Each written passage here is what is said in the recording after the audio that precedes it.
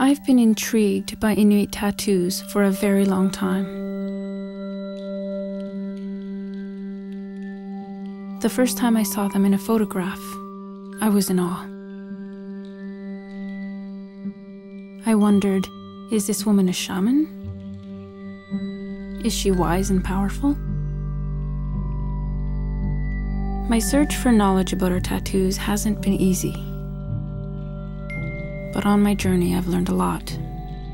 I've discovered that my people have faced extraordinary challenges because their way of life has changed dramatically in a staggeringly short period of time.